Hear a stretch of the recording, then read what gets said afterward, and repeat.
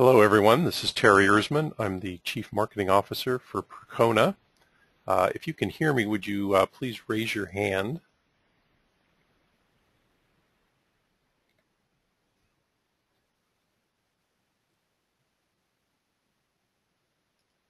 Okay, see a few hands up there. Thanks, everyone. Um, we will be recording today's broadcast and we'll send out a, re, a link to the recording of the webinar later uh, today or early tomorrow. If you have any questions during the presentation today, please uh, post them to the questions section of your uh, GoToWebinar um, uh, control panel. We will uh, address as many questions as possible at the end of the presentation. It is uh, my pleasure to introduce Baron Schwartz.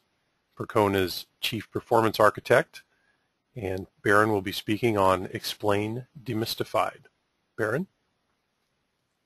Thanks, Terry. Thanks, everyone, for joining us today. I hope you're having a good day.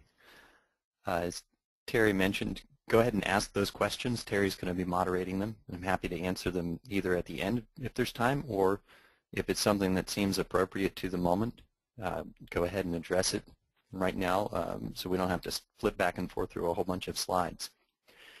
So I have a confession. I realized that I forgot to put an introductory slide about Percona. So we'll just leave this slide up and I'll tell you a little bit about ourselves for a moment while some more people join. We provide services and support and engineering for the MySQL database server and related derivatives of it such as Percona Server, MariaDB, and Drizzle. And uh, we also run a series of conferences and we run training.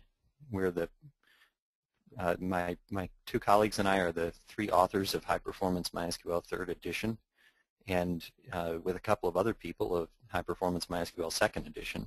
The third edition should be coming out in um, less than a month. It should be available.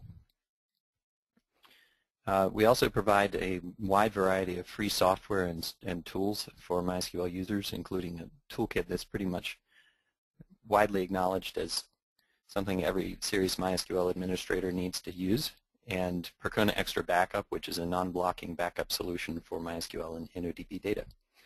So with that introduction out of the way, I'll get right going with the slides. So today I want to talk about MySQL's explain command. Um, most of you are probably familiar with it, and most database servers have some kind of a, an explain command. In fact, it's usually called explain, although it's not always. And um, I find it very cryptic, or, or I used to find it very cryptic, especially when I was new to MySQL. My background was in uh, Microsoft SQL Server before I came to MySQL. And um, I, I found Microsoft SQL Server's query analysis and uh, execution plan display to be very intuitive and very helpful for understanding why queries performed the way they did. And MySQL's explain just didn't do a thing for me. I thought it was uh, very cryptic, and it actually took me a year or so, and talking to some of the MySQL Optimizer developers at one of the presentations at the MySQL conference before the lights kind of came on and I understood how it's structured and, and how it's generated. And that's what I'm going to try and, and share with you today, is where explain comes from and how you can read it. Because it's, again, I find it not very intuitive. So uh, we'll have sort of a roundabout trip to get there. We'll first talk about how MySQL executes queries. And with that information in mind, we can see how the execution plan maps into the explain output and therefore how you can go backwards. Um, and at the end, I'll show you some advanced features of explain and some helpful tools that can make your life with explain a little bit easier. And I have a few slides of resources at the end. And these slides will be posted online as well. I'm not sure whether they'll just be uh, part of the webinar recording or if we'll post them separately, but they will be available one way or another.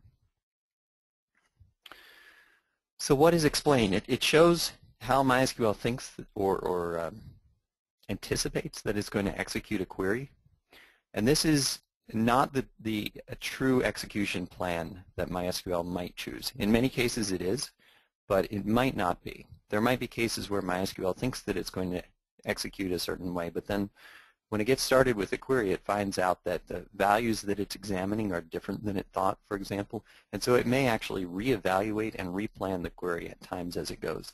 And, and, and sometimes you can even see in advance that MySQL knows that it's going to have to replan the query for every value that it retrieves from a table, for example.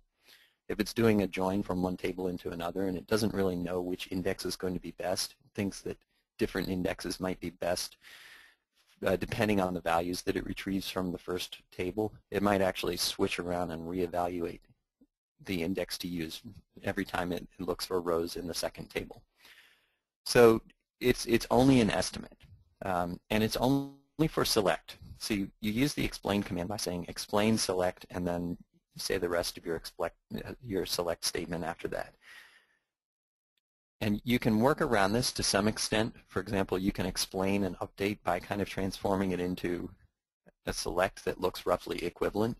The problem with that is that the query execution plan inside of MySQL might not actually be the same thing. And there are lots and lots of cases where an update will execute one way and a select that looks relatively equivalent to that will execute a different way entirely. So um, those are kind of some some limitations and characteristics to keep in mind when you're looking at, at explain. Unlike some other database servers, you can't say explain execute or explain analyze. Um, you can't, uh, to go back to my example of Microsoft SQL Server, you could get the estimated execution plan or you could set show plan on and run the uh, query, actually execute the plan, execute the query and then see what the actual plan was after the fact. You can't do that with MySQL. You can't really see how the query executed after the fact. There are some ways that you can look at some status counters and things like that, but it's not the same thing. So explain is an estimate, again, of how MySQL thinks that it's going to optimize, uh, optimize and execute the query. And there's something I mentioned here, it's only for select. Um, but that is changing in MySQL 5.6. You will actually be able to say explain update, explain delete, explain insert, and explain replace. So, so that's only a limitation in MySQL 5.5 and previous. So here's the output of a fairly typical simple explain query. Here I'm using the Sakila sample database that you can download from the MySQL documentation website.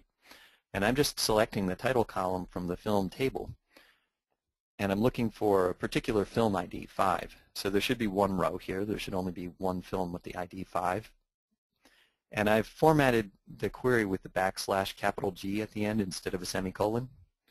What that does is it causes the uh, the resulting output to be ver vertically formatted. So each row, each each line in the output below is actually a column. The, the column or output that you might be looking for is kind of turned on its side. So the first column there is the ID column, and then we have the select type column and the table column and so forth and so on. And I'll kind of come back to this as we go. This will be sort of a running example that I'll use as a reference point as we go through. But before we do that, I want to talk a little bit about execution plans and how we end up uh, generating the explain output. So MySQL's execution process, very broadly speaking, I mean, we're, we're painting with a very broad brush and making lots of simplifications here is that it parses SQL, converts that into a data structure called the parse tree, and then transforms the parse tree into the execution plan. And the uh, executor, or sometimes called executioner, works from that data structure, works from the execution plan. It iterates through the structure, um, navigating from part to part in the execution plan data structure and executing the specified storage engine API calls on each node in that data structure. Now this is very different from how most database servers execute a, a query. Most database servers will compile the query plan into bytecode, that is machine code that can run, natively run on the, on the processor, on the CPU. MySQL does not do that. Um, it starts with a data structure that comes out of the parse process, and then it just transforms that into another data structure. Um, optimizations, for example, become changes to the, the tree structure of the um, execution plan, constant folding, all of those kinds of, uh, there's a lot of optimizations that go on that look very much like what a compiler does, but it's not really compiling. It's simply tweaking the, uh, the execution plan data structure into a different data structure. And then it's, it's iterating over and, and traversing that data structure as it does its work. So the execution plan is another thing that is uh, perhaps a little bit um, counterintuitive sometimes for people. If we have a three-table join, like I've shown at the top of the, of the slide here, where we're selecting from Sakila film, joining to film actor, and then joining to actors, we're, we're joining through a relationship table in the middle. One of the possible strategies there is that the join operator might have three inputs, as I've shown on the bottom left here. It might be retrieving data from all three of those and munging them together. And in computer science terminology, this is what we would call a bushy tree or a balanced tree. This is too small of a tree really to say how exactly it should be described. But um, the characteristic that we're missing here, which I want to demonstrate to you on the next, um, sorry, next, not previous slide, is that MySQL actually uses a data structure called a, a left deep tree or a left linear tree. And that means that from left to right, from bottom to top, it begins with film and film actor and then joins them. And then the output of that becomes the input uh, to a further join into the actor table. And I could have um, I could have done a very tall join with lots and lots of tables here to kind of demonstrate this. But basically, you always begin with two tables, um, and you get one result from that, and then you join it to something else. And so every join always has two inputs. You don't have joins with three inputs. And uh, if you make a, a many-way join here, you'll end up with a tall diagonal-looking tree that slopes towards the right. And how this turns into explain is if you if you rotate that tree structure 90 degrees clockwise, 90 degrees to the right, and then start at what used to be the bottom left and read down it, you see those tables in order, film, film actor, actor. MySQL will actually print out one row in the table of explain output for each table in the uh, query execution plan. So if it begins with film and film actor and joins them together and then joins into actor, you're going to see those come out in the explain output uh, in that order. There are some cases in which the order is not completely uh, obvious and sometimes things get a little bit reorganized depending on more complicated query execution plans, but in general, this is the rule. If you read the explain output from top to bottom, you're looking at the join order. First film, then probing into film actor, then into actor. So that's, for me, that, that transformation, that visualizing the tree and then rotating it 90 degrees to the right, that was when the light bulb came on in my head and I realized where this explain output was kind of coming from. Um, I don't know if that's a transformative moment for you, uh, but it was for me. So I hope that's a helpful visualization to understanding how explain is, is created. Generating that output actually, um, it's an estimated execution plan. What you see, the output of explain is estimated, but it's actually generated by executing that, that query plan with a special bit set.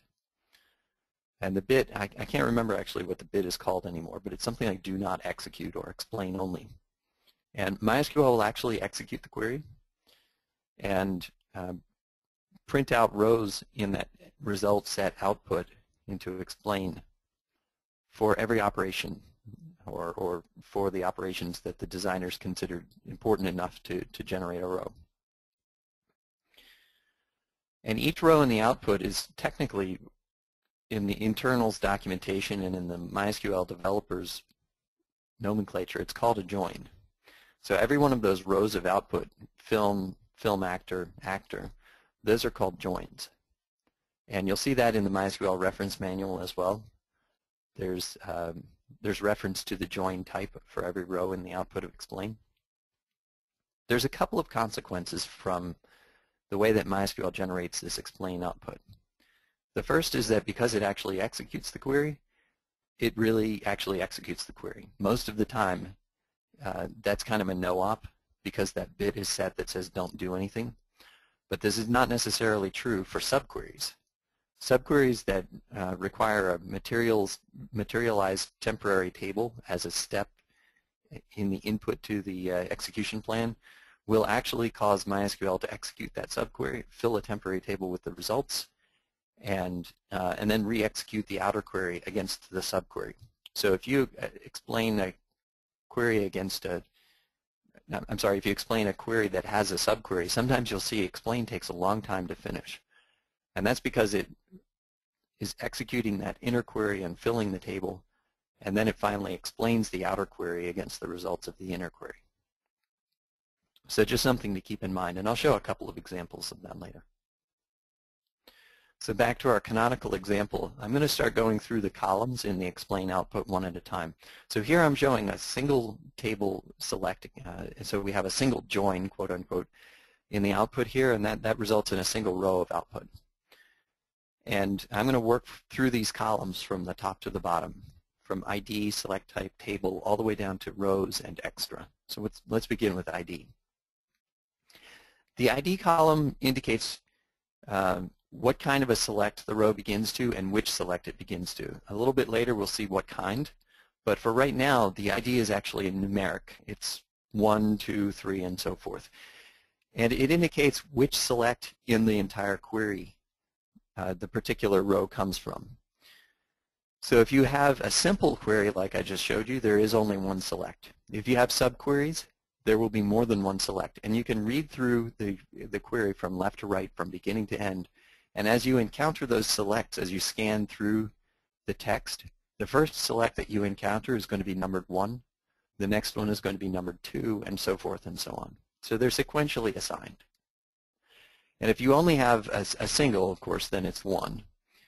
Um, if you have a, a, more complex type of a query, there are two broad classes of queries that you can consider. You have simple and you have complex types.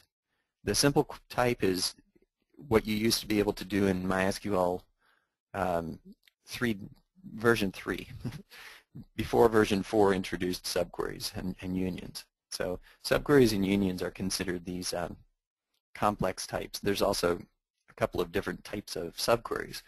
So in MySQL 4, we begin to see complex types being introduced, and explain had to become a little bit more uh, convoluted in order to accommodate the, the more complicated types of output that um, to match the more complicated types of query execution that MySQL was doing. So we'll see how that kind of got shoehorned in to explain a little bit later. So the three subtypes of complex, I kind of glossed over that. First we have a subquery. Then we have a derived table, which is a special type of a subquery. Technically, a derived table actually means something different in the SQL standard, but most of the people that I've been around use derived table as a synonym for a subquery in the from clause. And then finally, the union. So those are the three cases where we have um, differing values in the ID column. And I'll show you uh, examples of all three of them so we can kind of see what the differences are. So when we have a subquery, for example, here we have a subquery that's in the select list. And this subquery generates a single value um, that turns into a, a, uh, a column in the output. What you have then is that the, um, the outer select is numbered 1 and then the subquery is numbered 2, and you can see that at the bottom of the screen. The subquery's got that ID 2 next to it, and it's the, the one that's selecting from actor, so that, that is the inner select there. So that's the sequential numbering. And then when we have a, a so-called derived table, this is a, a, a, subquery in the from clause. So you, hear, you see here that we've got from and then a select inside of that. This is executed inside of MySQL as a temporary table. It's invisible and it's implicit. You don't see it. You don't control it. Um, MySQL creates this temporary table, executes the inner query, puts the results into that temporary table, and then reevaluates, re, um, re-optimizes, re-executes, and explains the outer query against it. So that's why it's called a derived table, because the, the temporary table that results from that subquery is derived from the subquery. Now I've aliased the, uh, the derived table as DER here, and if you look in the select output, you won't see that. I'm sorry, the explain output, you won't see that. It's not referenced by its alias. Instead, what happens is that um, the the join with ID2 is the bottom most one on this slide. It's the derived table against film. And the, uh, the one just above it, the primary, ID 1 is selecting from a table that's called angle bracket derived to angle bracket. And we'll see what that notation means a little bit later. So this is the second type of complex query that we might see um, sort of different values in the ID column. And then finally in a union, we actually have a null in the ID column. What happens is that we select one and then we select one again and those become uh, those become IDs 1 and 2 in the output of explain. And then finally we have an ID that's null that reads the result of the two branches of that union. So here what's happening is that MySQL actually creates a temporary table for unions as well. And it always does this, by the way, even when it doesn't necessarily have to. For example, there are specific types of unions that MySQL could potentially just stream the results from the first table, then add on the results from the second table and so forth and send all that to the client as soon as it's ready. But it never does that. In fact, it always creates a temporary table and puts the results from the union into the temporary table and then the final step is to read the temporary table back out again and send the results to the client. And so that's what we see happening here. Number one is putting results into the temporary table. Number two is doing the same and then this final null union result is reading from one and two and you see the, uh, the table there the notation angle bracket union 1 comma 2 angle bracket. And that's again what it's doing. It's kind of referring to IDs 1 and 2. And we'll see, again, more clear examples of that later as I explain some of the more columns that we're getting to. So the next column, the, the second column in explains output, is the select type. And in this example on the screen right now, the select type is simple. So we've got a, a very simple um, uh, select up above. There can be more complicated types. Um, I mentioned the three types of complex. There are the subqueries, subqueries in the from clause, and the unions. There's a special rule for the union. Um, when a select is part of a union, you'll see that the, the first contained select has a select type that matches the, the outermost context, if you will. Let me back up two slides and that might become clearer. So if we look here, usually a simple query will have primary as its select type. And that happens in a union too. The first branch of the union is labeled primary because that's kind of the, um, the, the enclosing context for a union. The second branch of the union will have the, the select type labeled union. So the special rule for unions is that the first row that comes out always matches whatever the outer context is. And the outer context might not be primary, primary indicates a topmost select, uh, but in some cases, such as when uh, a union is inside of some other, let's say a derived table, um, that first row of output for the union will have the, the, uh, the select type value as derived instead of as primary. And we might see um, some dependency or some uncacheability. So we might see, for example, dependent subquery and those are kind of modifiers that are tacked on as a word in front of the select type. And they refer to um, they refer to kind of a variation on the same kind of a query plan for that particular row in the select output. Uncacheability does not refer to the query cache. It refers to something called the item cache, which is invisible. An item inside of MySQL is anything that can be the result of an expression. So the value 1, the, the literal number 1, can be an expression. Uh, um, I'm saying that a little bit confusingly. It's, it's anything that evaluates to a value after uh, MySQL um, executes it. So the literal 1 executes to the value 1. But a subquery could also evaluate to a specific value, and so can a function such as min or max. And all of those things are handled inside of the MySQL source code with a class called item, which is very um, widely used throughout the source code and has many, many subclasses in it. If you're familiar with C++ coding conventions, it has lots and lots of subclasses. And the item cache is a special cache that helps avoid re-evaluating and re-executing an item if it's possible. If it's not possible, then you might see uncacheable subquery, for example, and that indicates that the item cache has been disabled for some reason, so that that uh, expression will have to be re-evaluated. So the table column, uh, that's the next in our select output, shows either the table name or its alias, or in more complicated cases, um, you'll see derived n or union n comma n comma n. So we saw previously derived 2, and uh, we saw previously also union 1 comma 2. And those can get arbitrarily large. Um, if they do get too large, unions might have some values truncated out of the middle, but you'll still have the end of the union to look at. So you can figure out exactly which IDs were included in that union. So here's a pretty complicated example that wraps it all together. On the, uh, the first row, we've got primary, and um, that's apparently reading from something called derived 3. We have a derived query, a, a derived table after that, which appears to have maybe a dependent subquery inside of it, and then a union, and we've got another derived and subquery and an uncacheable subquery, and then finally a union result. And if you look along the ID column here on the left, you'll see that those are out of order, 1, 3, 2, 4, 6, 7, 5. It's kind of a funny order. That ordering actually ends up being extremely important for figuring out the real order in which these things execute and which things depend on which other things. So if we look here at derived 3 and derived 6 in the table column, what that actually means is that uh, instead of selecting from a table called derived 3, it's selecting from the temporary table, which was created by um, whatever query begins with ID equals 3.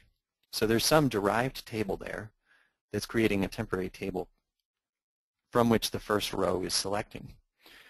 And the fourth row looks like the second branch of a union, and that's selecting from something called derived 6. Well, if we look where uh, the row where ID equals 6, we'll see another derived table there. Looks like it's selecting from the film table, and then it's got maybe a subquery and an uncacheable subquery inside of it.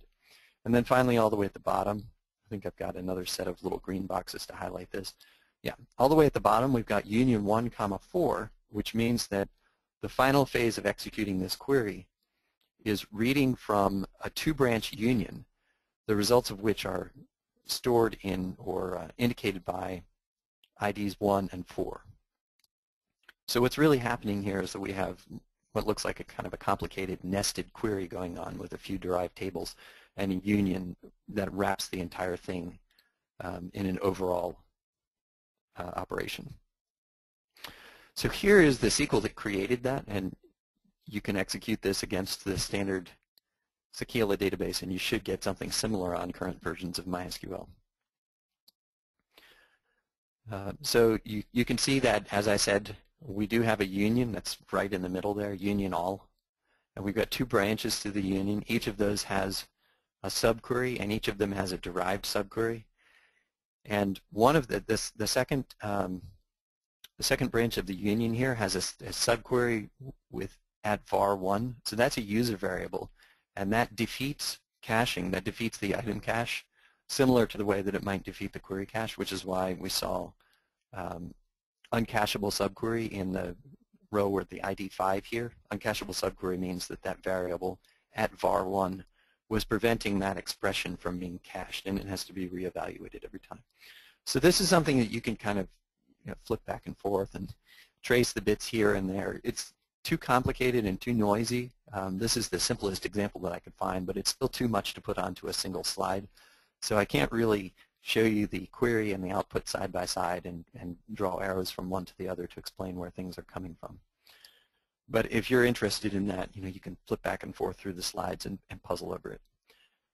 When things get more complicated, when you have, you know, 10-way queries with a whole bunch of subqueries and things like that, it can be really painful and, and very confusing to sort of reverse engineer, explain, and kind of understand how the explain maps back to the query. I did write a tool for that. Uh, it's part of Percona Toolkit, and I'll show you later uh, towards the end of our slides. Let's keep going with the columns. So the type column explains how MySQL estimates that it's going to find rows in the table. And the documentation, the, the MySQL reference manual calls this the join type. I like to call it the access type because I think it's easier for people to understand that. The join type is kind of the terminology that that server developers would use when they're talking with each other because of the internal source code structuring and the conventions used there. But for a user, it's more straightforward and simpler to think of the access type, how MySQL is going to find rows in a table. And from worst to best, we have a table scan where it just scans through the entire table looking for rows. Um, or we could use an, um, an index, scan an entire index, which is kind of like a full table scan, except that it's only a full index scan. Or we could scan a range of an index. Or we could use a, a, a value as a reference to look into an index and find rows in the index that match that reference value. Uh, a variation on the reference is the equal reference, which means that there's going to be at most one so that's a unique index or a primary key. We know there's only going to be a possibility of exactly one value in that index.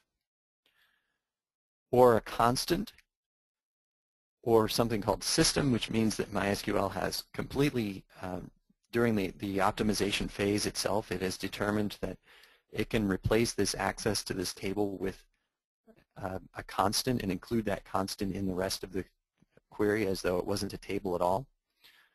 For example, sometimes you might see selecting the maximum value from an indexed column. MySQL can seek to the, to the end of the index during the execution planning phase and find out what the maximum value, value in that column is. And then instead of referring to the, the query against the index later in the query, can actually refer to that value. So a good example here is if I wanted to do some kind of a, an a join that involved joining against the maximum actor ID in the Sakila.actor table. During the planning phase, MySQL could say, well, what is that value? And it's, I don't remember exactly what it is. It's maybe actor 550 or something like that. There's not all that many actors in that table. Um, but let's suppose that it's 550. Throughout the rest of query planning and execution, MySQL will treat that as the, the constant value 550. And then null means that the, uh, there's no table at all involved. So if you say select one, you'll see null. There's there's no uh, no table there involved at all. In the example on the bottom of the screen here, I'm selecting something. Doesn't really matter what, but it's a simple simple query against the film table, and we see that the type is range. That means that it's going to be accessing some range of values in the type column uh, in the uh, in the film table. So it's not the whole index, it's not from beginning to end, but there's going to be some where clause or something like that that's going to constrain it to a range of values, one or more rows. Actually, more, more correctly, zero or more rows. There might not be any matching, but multiple rows. And then the, uh, there's three columns that relate to what index MySQL is going to use to find its values in the table. So possible keys mentions which indexes are candidates. And sometimes MySQL will actually use a, an index that wasn't listed as a candidate here because um, the decision of which things are candidates is decided one point in the source code and then somewhere else there's an optimization that says, well, you know, but we could actually use this other index even though it's not useful for the where clause and it's not useful for this and that and the other thing, but it might be useful because it contains let's say, all of the columns that the query needs to access. So we'll use that one instead. So sometimes you might see that eh, uh, an index is mentioned in key, which is the second column listed here, but it's not in possible keys.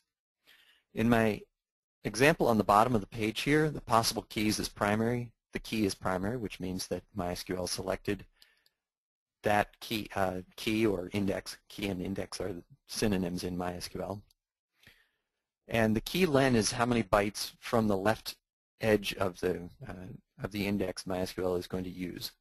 So if this were, for example, a multiple column index, it might have a couple of integers and a date and a character column or something like that. It could have a lot of bytes in that uh, index. The index width might be you know, hundreds of hundreds of bytes wide. But you might see that MySQL is only using, let's say, the first two as it is here, or the first eight, or three, or six, or something like that bytes of the index. And what that means is that it's not using all of the columns of the index. Let's say that we have a compound index on an integer and a date, and you give MySQL a query with a where clause on the integer. Integers are 4 bytes by default.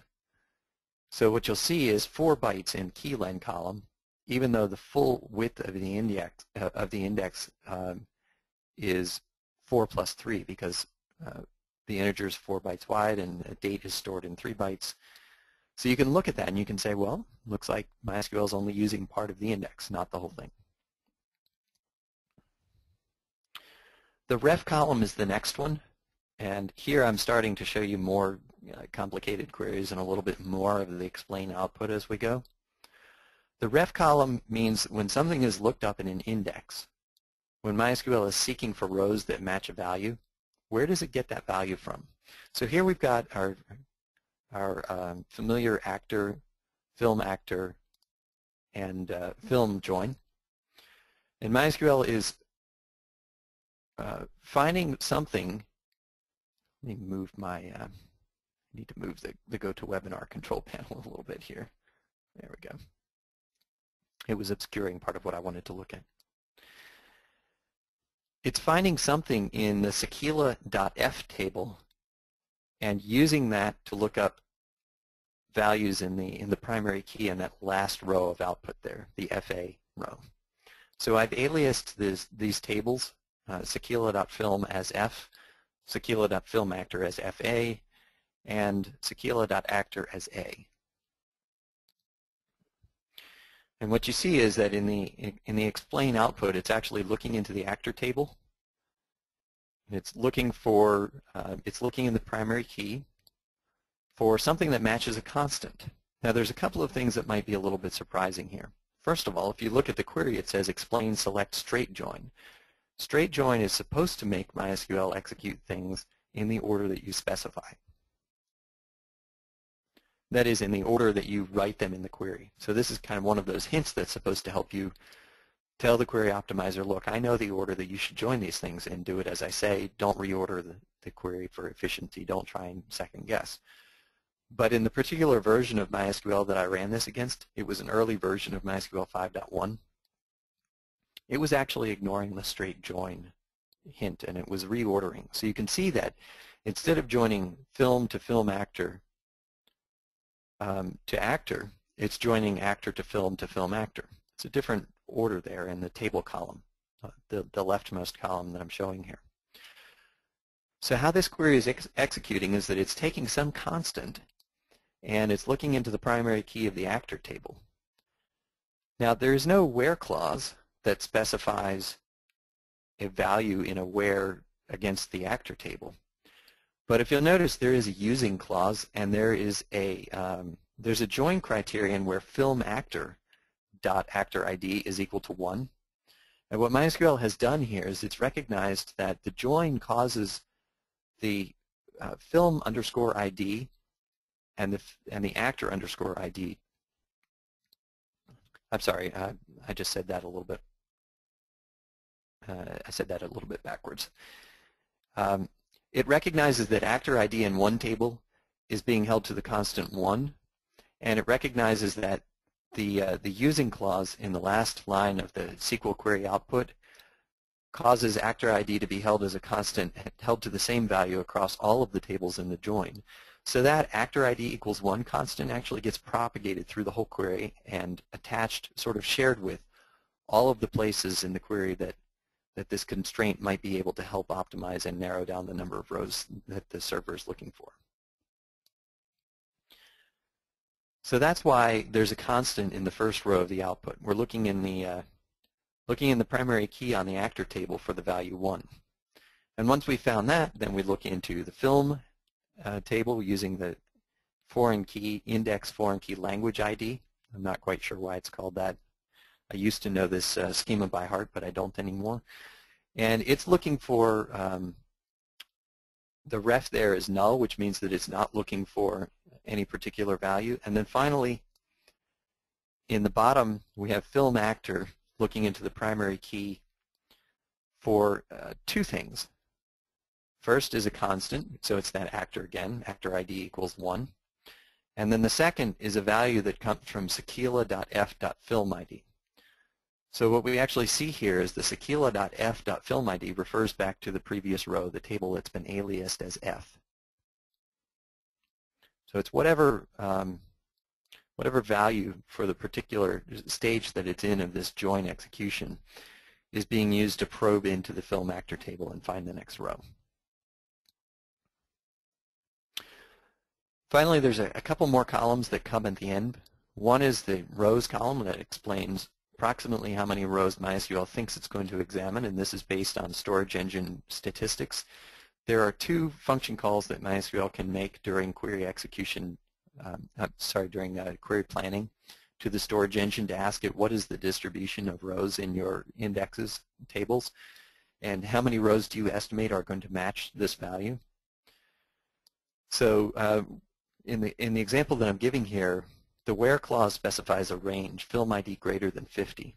And what will happen is MySQL will ask the storage engine, hey storage engine, how many rows do you think you have for a range of values beginning with 50 and ending at infinity? And the storage engine replies back, oh, I think I have about 511. And that value gets used in query execution and optimization in evaluating different orders that might be used for the for the join, for example. And it eventually comes out into the uh, the rows value and explain. There's another column called filtered, which shows up in certain cases in MySQL 5.1. And it's very tricky to make it show anything other than all or nothing, 0 or 100. It's a percentage, uh, but it's pretty hard to get it to make a percentage of 50%, for example. I was able to contrive some kind of queries with the help of some of the MySQL optimizer folks. I actually had to write them and ask, you know, I just, I really can't get this to show anything other than 0 or 100. Can you give me a sample query? And we worked on something together. It took a few tries back and forth before we found something that showed, I think it was 51%. But it really, it's supposed to indicate that if something is retrieved from a table or an index and then post-filtered in the server. Instead of being filtered in the storage engine, it's filtered in the server with a where clause. It's supposed to be the, uh, the percentage of rows that will actually pass through that filter. But again, in most time, uh, in most cases, yeah, this just really doesn't show you anything very helpful.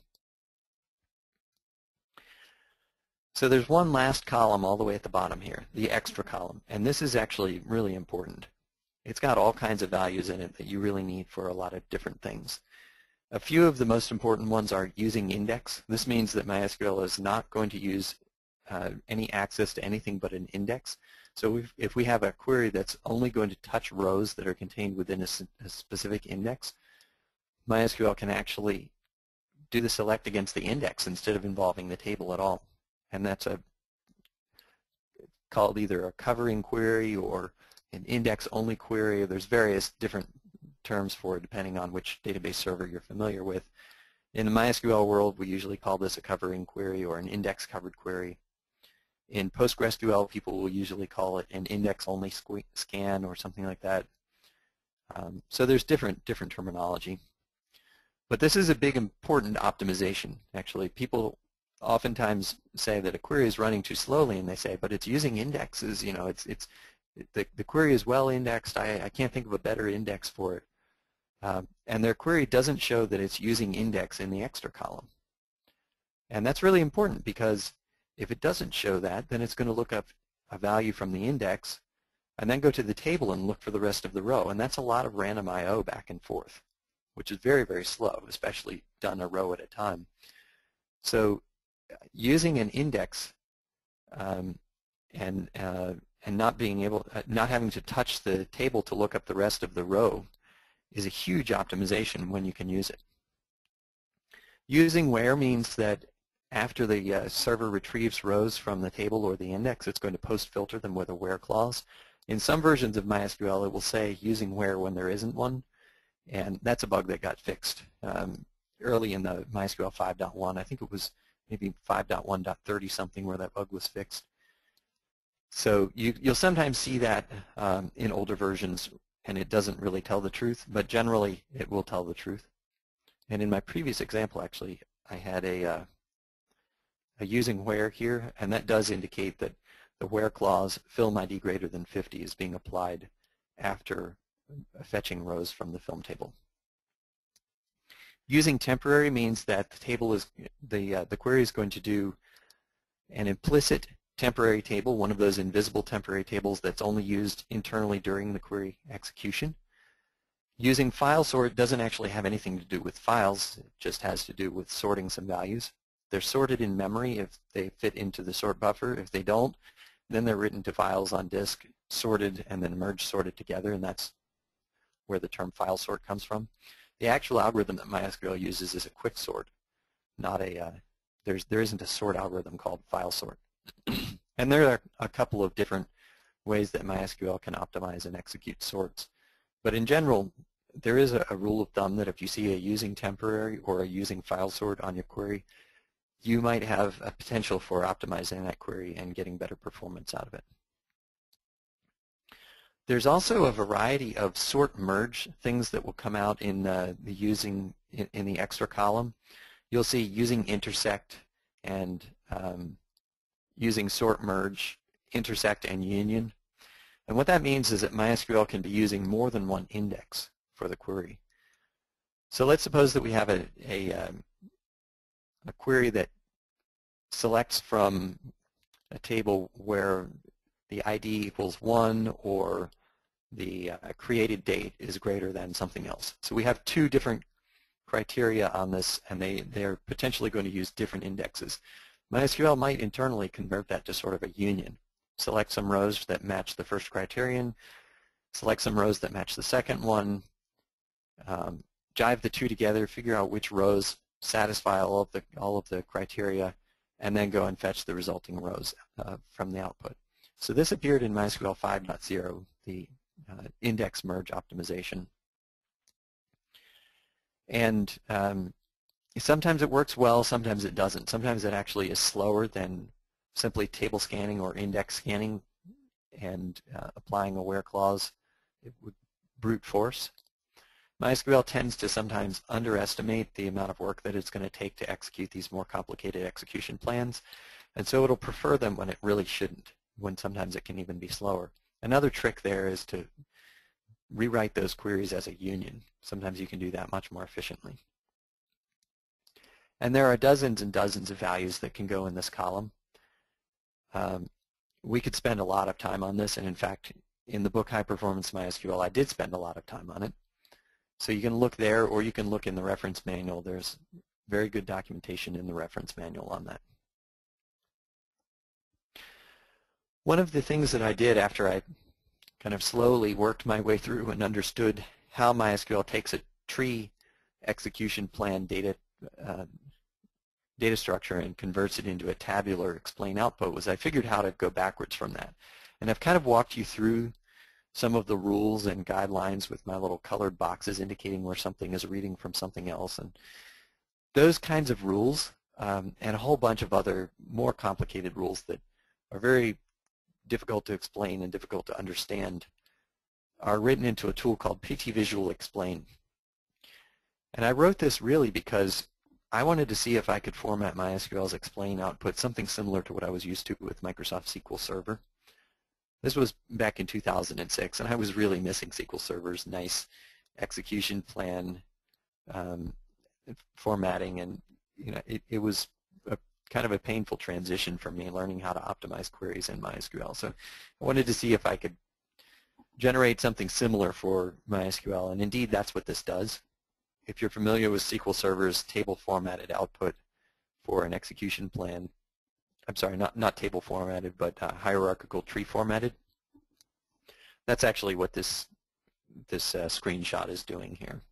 So this is our familiar join against film actor and actor and film. And you should read it from the bottom, from the leaves of the tree up. So we see that it begins with an index scan against the actor's primary key all the way on the bottom of the screen there. Looks like it's going to fetch an estimated 200 rows from that. And then it, uh, it feeds those upwards into a join.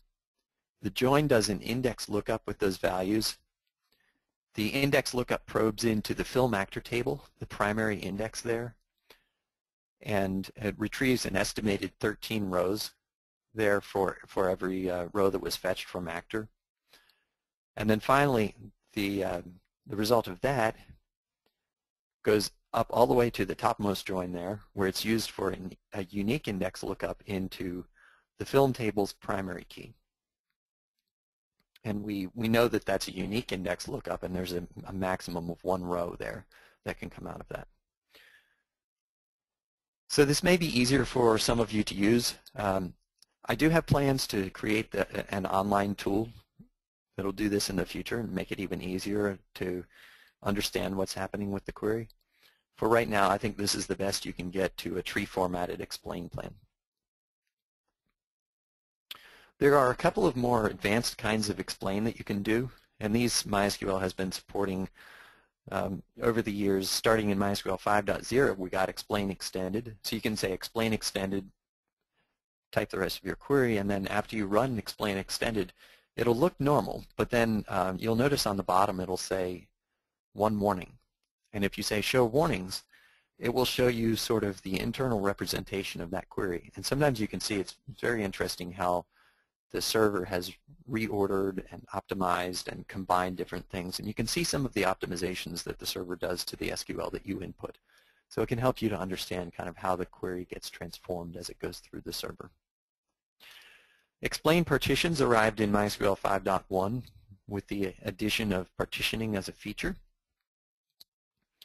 And uh, it adds an extra row, or, or, sorry, it adds an extra column to the uh, explain output. It's the partitions column, which you can see after the table column here. I created a trivial little table here and put some uh, put some simple data into it. It doesn't even have any indexes. The only thing it has is three partitions, a partition 0, partition 1, and partition infinity, which holds all the values uh, less than an infinity. And if I select star from the table, you'll see that it's accessing all three of those partitions. What this shows is which partitions the MySQL server is able to, to prune out. In this case, it's not able to prune out any partitions, and it's going to have to examine all three of them. If we add a where clause, where A between 10 and 99, then that restricts it to only one of the partitions. And in this case, we can see that it's only accessing partition P1. So if you're, um, if you're dealing with partition tables, explain partitions is your friend. Unfortunately, it's not possible to say explain partitions and explain extended at the same time. They're mutually exclusive, so you can only say one of them or the other. Um, but you know, explain is explain it one way and then explain it the other way if you need to to learn uh, more about your query.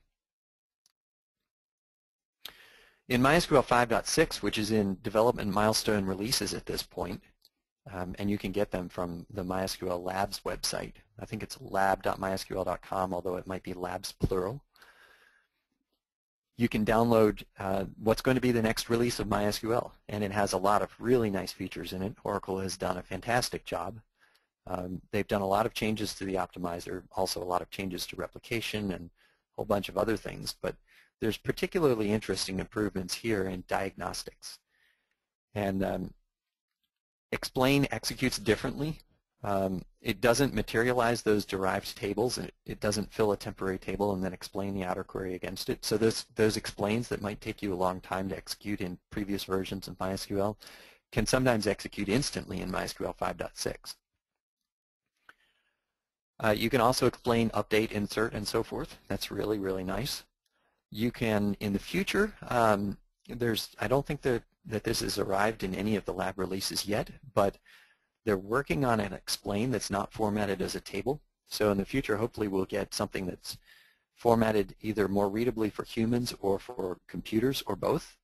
So I'm really looking forward to that because let me tell you, writing the tool to, to reverse engineer an explain plan and figure out the hierarchy was very, very difficult. I, I um, in fact, some way, sometimes the only way that I can figure out how that stuff is done is I go back to the test cases for the, that tool's test suite and I examine the test cases and figure out some of the subtleties. So I'd, I'd really love to have a machine consumable explain format. I think that's a fantastic improvement. Optimizer trace is a related improvement here that uh, you can turn on Optimizer trace, run your query, and then select from an information schema table, and the output comes out in JSON format. It is intended to be machine readable, so this is definitely for tools to consume. It's extremely verbose. Um, it's human readable because it's JSON, but um, it's really probably more intended for computers and for, for tools to, to, uh, to read. And it explains all of the phases that the optimizer goes through. So explain shows you what it thinks the, that the query is going to execute. Explain um, uh, the, the optimizer trace feature shows you exactly post-mortem why the optimizer made the decisions that it did. And you know all of the alternative join orders that it considered and all of the alternative indexes and all of those kinds of things. You know, I didn't choose this one because that one had a better index cardinality, all that kind of stuff. I've got a couple of links here so you can find out more on MySQL 5.6. One of those is a slideshow from Mark Leith, who's one of Oracle's longtime support engineers, and the other is from um, one of the uh, uh, server developers. So there's good information there on what's coming in MySQL 5.6. Can't wait. We've got a couple of slides of resources here for further learning. High Performance MySQL, again, this is my book. Uh, very proud of this. The third edition is a huge improvement over the second edition and very happy that I was able to do that. You should be able to get it in a few weeks. And if you go to highperfmysql.com, you can click through to Amazon and pre-order it there. Also, Percona runs training courses uh, in major cities worldwide pretty much on a continual basis, and you can see upcoming courses on our website, percona.com slash training. We run Percona webinars um, what, twice a month or so at this point. Um, those are scheduled pretty routinely. We've got a couple of them upcoming.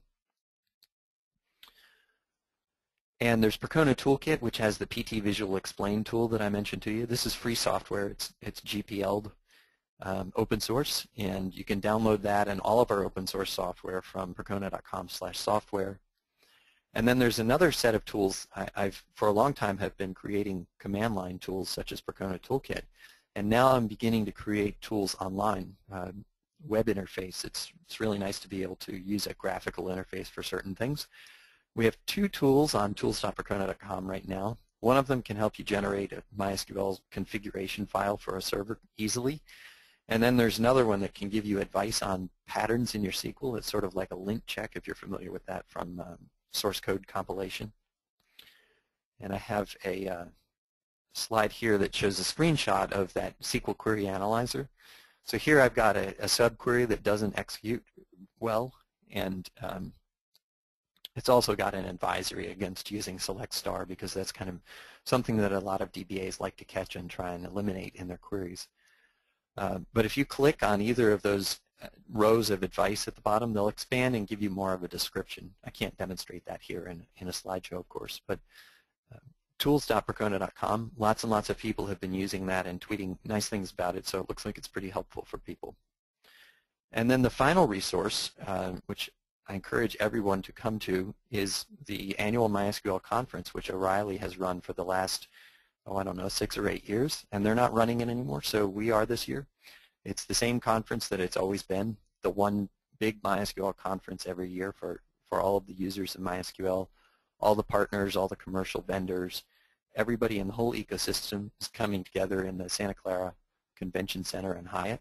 It's a huge place, and we've rented all of the familiar rooms and uh, organized the conference the same way that it's traditionally been organized over the last several of years. So we'll have all of the familiar things like keynotes and the community awards and the, um, the birds of feather sessions and all of those kinds of nice things. So everybody who's involved in MySQL or uses MySQL in any way should be either coming to this conference or sending your uh, sending them team members to the conference if you're not able to come. It is uh, it's like nothing else, and this is where my career got started really. Some of the featured speakers along the bottom here got pictures of Peter Zaitsev, Sarah Novotny, Jeremy Zawodny, who wrote the first edition of High Performance MySQL, Martin Mickos, the former CEO of MySQL, Brian Aker, MySQL's Director of Architecture, who's now a fellow at, uh, at Hewlett-Packard. We have a lot of luminaries there, um, eight consecutive tracks, I'm sorry, eight uh, concurrent tracks of, of content. And um, my contact information, I'm very happy to have conversations with you. Uh, my, my Twitter handle as well, if you find it easier to ping me on Twitter about something, delighted to have discussions about any of this stuff. I'm a, a geek at heart, and I love to geek out on the technical kinds of things as well as the administrative or business-related side of things. So that's all I've got. And uh, Terry, did we get any questions as we went? I didn't see any. Yeah, we're uh, right about at the end of time uh, now, but we do have a couple questions. Um, okay. Uh, the first one was, uh, is, is, there a way to know uh, the, the actual executions using the explain show function? I'm not quite sure how to answer that, but there's, I, I guess you're asking whether, uh, you're referring to my comment that the explain plan is an executed, uh, is an estimated execution plan, and there is no ironclad way to know exactly how it was done. What you really need to do is learn in depth how MySQL optimizes and executes the queries, and then you can use explain to help you understand which alternatives it chose. But when you understand how MySQL's optimization and execution process works, uh, you can actually figure out for yourself how it was how it was executing. There's a lot of information in High Performance MySQL book about that, by the way. Okay, good. Um, also, are uh, invisible temp tables almost always my MyISAM? The invisible implicit temporary tables are created as memory if they can be, um, and if they're not, if it's not possible to create it as a memory table, then it is MyISAM.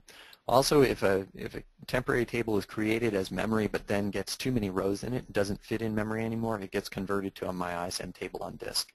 And the things that cause a temporary table not to be created in memory are typically blob or text columns that are uh, too long to fit into MySQL's um, fixed row format for temporary tables. And in Percona Server, we actually have lifted part of the restrictions on that with a, a, a memory engine that can handle varying length columns. Um, so we've got halfway there. It, it doesn't work for implicit temporary tables yet, but that's next on our roadmap. Okay, very good. Well, Baron, thanks for your presentation today, and uh, thanks for everyone who attended. Uh, as I mentioned, we will send out a link to a recording of the webinar um, either today or tomorrow. And uh, please um, go to the webinars page on percona.com and sign up for future webinars. Thanks, and have a good day, everyone.